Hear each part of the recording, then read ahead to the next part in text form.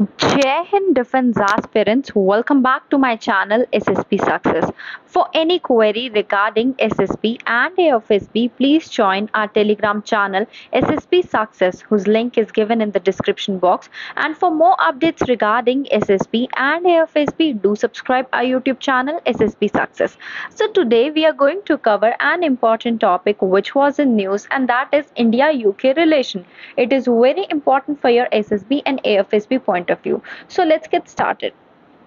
See why it is in news देखो, जो trade है ना इंडिया और यूके के बीच में that is going to be double कब तक? 2030 तक। और इसको जो है ड्राइव किया जाएगा फ्री ट्रेड पैक्ट के द्वारा इन्वेस्टमेंट इन टेक्नोलॉजी के द्वारा diversification of global supply chain ease of doing business और ये किसके अकॉर्डिंग है? According to Britain meets India report by Grant थॉटन Bharat in partnership with the confederation of Indian industry जो business service है, वो top sector है जो कि देखा जा रहा है यूके कंपनीज़ के द्वारा इंडिया में। With Maharashtra leading investment destination followed by national capital region and then Karnataka okay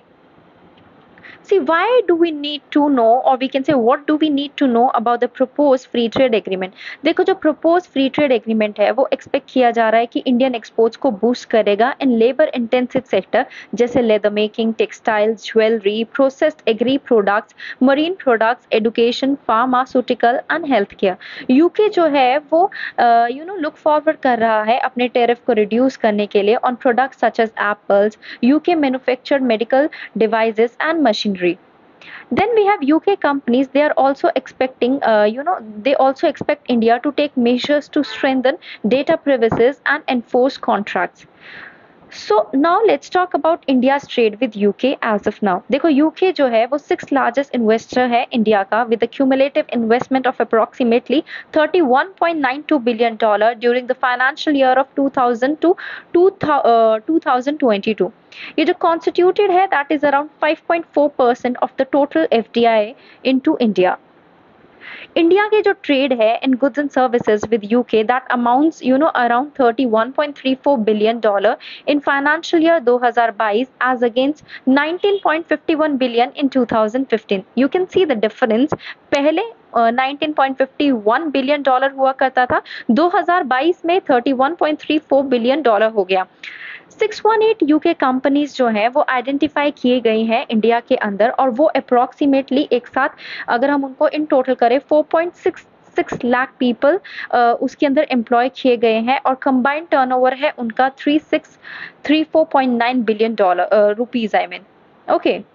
See, what are the recent developments on India's relation with the UK? Let's discuss about that. See, हमने काफ़ी सारे challenges देखे which like one of them is Ukraine crisis India UK का relation जो है तब भी हमें अपर ट्रिजेक्ट्री में दिखता हुआ नज़र आया एग्जाम्पलीफाई करते हैं comprehensive strategic partnership partnership in 2021 में जो हुई थी उसकी वजह से एग्रीमेंट में ये भी स्टैब्लिश किया गया है कि 2030 तक रोड मैप क्या रहेगा इंडिया यूके रिलेशन का जो कि प्राइमरली आउटलाइन करता है partnership plan for the bilateral relationship दोनों कंट्रीज़ ने टॉक्स हेल्ड की थी on defence related trade and deepening cyber security and defense cooperation between the two countries. एक new joint cyber security programme जो है, वो अनाउंस किया गया है, जो प्रोटेक्ट करेगा ऑनलाइन इंफ्रास्ट्रक्चर को इंडिया एंड यूके में। इंडिया और यूके प्लान कर रहा है होल्ड करने के लिए फ़र्स्ट स्ट्रैटेजिक टेक्नोलॉजी डायलॉग जो कि एक मिनिस्टर लेवल समिट है ऑन इमर्जिंग टेक्नोलॉजीज़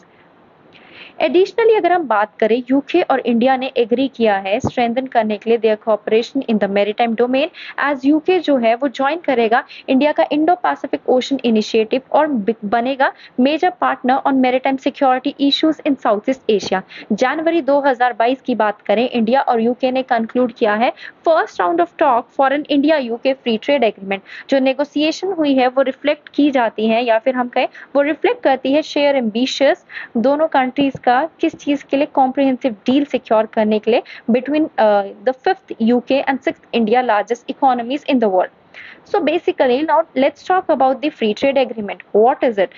see एक पैक्ट होता है, दो या दो से ज़्यादा नेशंस के बीच में, जो कि बैरियर्स को रिड्यूस करता है to imports and exports among them free trade policy के अंडर गुड्स और सर्विसेज़ को जो है लाया जाता है, बेचा जाता है इंटरनेशनल बॉर्डर्स पे विद लिटिल और no government tariffs quota subsidies और we can say prohibition to inhibit their exchange concept of free trade जो है, वो ऑपोजिट है ट्रेड प्रोटेक्शनिज्म का और इकोनॉमिक आइसोलेशन uh, का। Okay so India and FTA की बात करते हैं। देखो इंडिया और ऑस्ट्रेलिया का जो ई e है okay which is also a trade agreement only India जो है वो बेनिफिट होता है from preferential market access provided by Australia on hundred percent of its tariff and India will be offering preferential access to Australia on over seventy percent of its tariff lines South Asian free trade agreement की बात करें, जिसको SAFTA कहा जाता है, ये एक free trade agreement है। कंफाइन किया जाता है गुड्स के ऊपर but excluding all the service like information technology ये इस एग्रीमेंट को साइन किया गया था to reduce custom duties of all traded goods to zero by the year twenty sixteen क्या दूसरे ट्रेड एग्रीमेंट्स है जो साइन किए गए हैं इंडिया के द्वारा? पहला है India UAE CEPA okay comprehensive pact है ये भी एक तरीके का. कॉम्प्रिहेंसिव इकोनॉमिक पार्टनरशिप एग्रीमेंट जो प्रोवाइड करती है institutional mechanism so that encourage किया जा सके इम्प्रूव किया जा सके ट्रेड को दो कंट्रीज़ के बीच में. Comprehensive economic cooperation and partnership agreement India और मॉरिशस के बीच में ये एक तरीके का फ्री ट्रेड पैक्ट है जिसका एम है एक इंस्टीट्यूशनल मैकेनिज्म को प्रोवाइड करना सो दैट एनकरेज किया जा सके और इम्प्रूव किया जा सके ट्रेड को दो कंट्रीज़ के बीच में। इस एग्रीमेंट के तहत कंट्रीज़ जो है वो रिड्यूस करती है या फिर एलिमिनेट करती है duties on the product countries relax करती है अपने नॉर्म्स को सो दैट वो प्रमोट कर सके सर्विस ट्रेड को। South Asia preferential trading agreement SAPTA ये एक प्रमोटिंग ट्रेड है अमंग द मेंबर कंट्रीज़ जो कि 1995 में इफ़ेक्ट में आया था। एशिया पैसिफिक ट्रेड एग्रीमेंट जिसको आफ्टा कहा जाता है प्रीवियसली इसको बैंकॉक एग्रीमेंट कहते थे। ये प्रेफरेंशियल टेरिफ अरेंजमेंट है, जो, जिसका एम है प्रमोट करना इंट्रा रीजनल ट्रेड को through the exchange of mutually agreed concession by the member countries so guys, that was all. I hope you liked the video. If you like it, do like it, share it and subscribe our youtube channel ssb success. Thank you guys.